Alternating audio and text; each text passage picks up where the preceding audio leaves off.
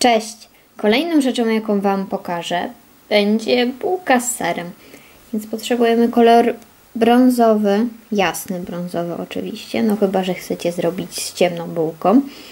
Żółty, zielony, pomarańczowy i czarny. Te trzy kolory są dowolne, ponieważ z nich zrobimy takie przyprawy. Nożyk, wykałaczka albo agrawka na przykład. Ja jeszcze użyję tego narzędzia i zamiast niego również możecie użyć wykałaczki. I coś do wałkowania. Więc najpierw tworzymy bułkę. Taka bułka jak do hot doga. I teraz bierzemy nożyk i tniemy w połowie. Albo niekoniecznie w połowie, bo zawsze górna część bułki jest trochę grubsza.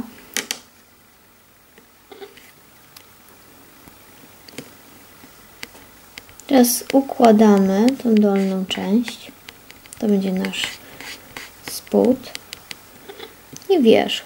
Jeśli trochę się z nich kształciło, również możemy zawsze uformować.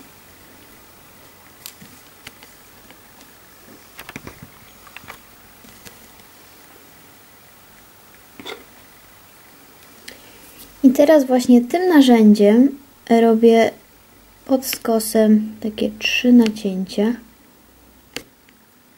I żeby to wydawało się bardziej realistyczne, teraz zrobię dużo takich małych wcięć.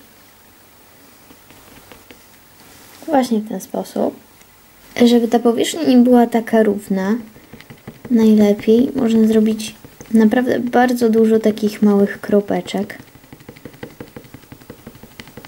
Też, żeby było bardziej realistyczne. Innym sposobem jest również użycie pieprzu. Możecie pieprzem tutaj tak obtoczyć i też będzie taka szorstka powierzchnia. Ale ja osobiście wolę tą metodę z tymi kropkami.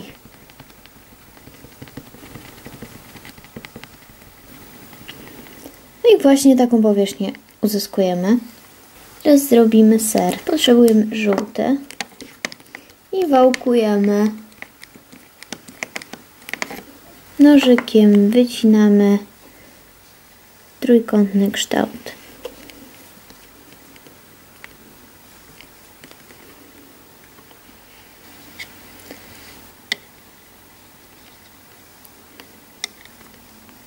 Nakładamy. Jeśli mamy miękką modelinę, to może nawet lepiej tak wygląda, jakby ten ser się tak roztapiał. Zbierzemy wykałaczkę i robimy w tym serze takie dziury. Teraz z zielonego, pomarańczowego i czarnego, takie kolory właśnie wybrałam na przyprawy, robimy takie długie i cieniutkie paseczki, żeby nam lepiej było potem ciąć te kawałki.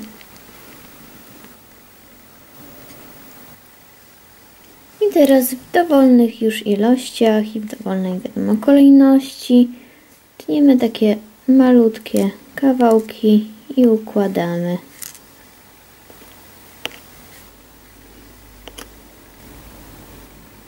I teraz